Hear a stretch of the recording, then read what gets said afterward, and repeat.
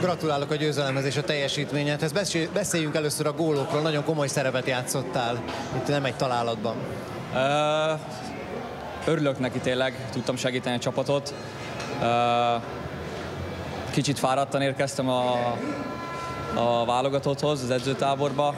Három edzés volt a meccs mögött, de örülök neki tényleg, hogy végig tudtam játszani, azért ez fontos volt az EB előtt, körül örülök, hogy tényleg ennyi szerepet játszottam a gólokba.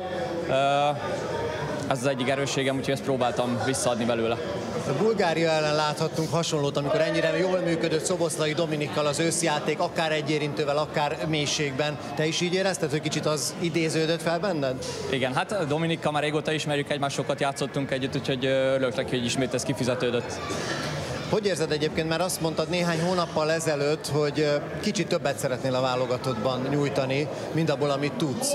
Ez már hasonlított ahhoz, amit szeretnél? Uh, úgy gondolom, hogy uh, tényleg lépésről lépésre fokozatosan azért egyre jobban sikerül nekem is kinyílnom a válogatottba is, megmutatni igazán, hogy uh, mit tudok, de azt gondolom, még van bennem, ez remélem az elbén kijön majd. Mit gondolsz az EB-ről, milyen várakozások vannak benned? Uh, hát tényleg most már itt vagyunk a kapujába az első meccsnek, úgyhogy, úgyhogy tényleg nagyon várom, de úgy gondolom, hogy ezt mindenki elmondja. Úgyhogy uh, tényleg aztán egy kicsit külön, külön érzés, hogy Svájc ellen kezdünk. Reméljük a legjobbakat. És ugye te vagy az, aki gyakorlatilag mérkőzésekből jön leginkább a csapatban. Lehet ennek valami előnye?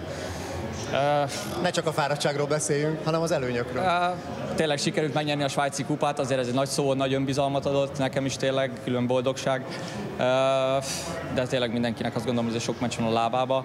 Úgyhogy uh, azt gondolom, hogy jó felkészülésen vagyunk túl, úgyhogy, uh, úgyhogy olyan bizalommal teli várjuk az első meccset. És rendeződött a sorod, úgyhogy gondolom ez is fontos.